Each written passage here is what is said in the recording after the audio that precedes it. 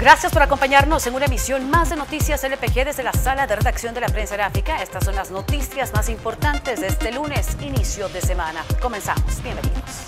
El ministro de Salud, Francisco Laví, confirmó en una entrevista televisiva que desde este lunes 12 de abril se iniciaba la aplicación de la segunda vacuna contra el COVID-19 a las personas que fueron vacunadas hace 21 días con la dosis de la farmacéutica Pfizer. Ante el aumento de aplicaciones de la vacuna contra la enfermedad, Alaví aseguró que el proceso de la aplicación de esta segunda dosis podría llegarse a tardar hasta 10 días. El Salvador recibió 51.480 de estas dosis a través del mecanismo COVAX, con la que se inmuniza al personal de primera línea.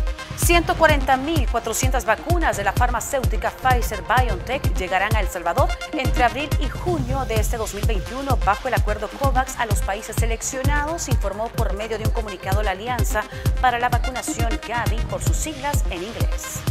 Esta sería la tercera entrega que beneficiará a 46 países entre los que está El Salvador. Según datos del gobierno salvadoreño, 1.203.600 dosis de vacunas han llegado al país y este lunes 12 se inició con la aplicación de la segunda vacuna al personal de primera línea. 66.489 salvadoreños se han contagiado de COVID-19 desde que se conoció del primer caso en el país, esto según datos oficiales del gobierno.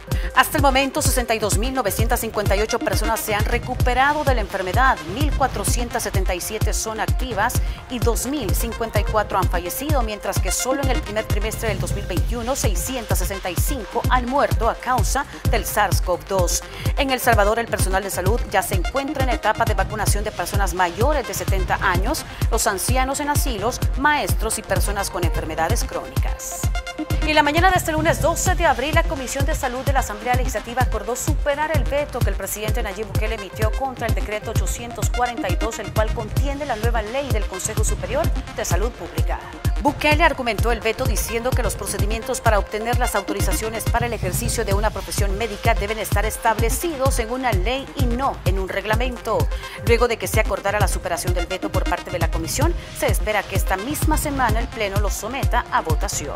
Fue un gusto haberles acompañado en una emisión más de Noticias LPG. Recuerde que El Salvador aún continúa en la lucha contra el coronavirus, por lo que es importante que usted acate todas las recomendaciones pertinentes. Regreso mañana para compartirles más información. Hasta pronto.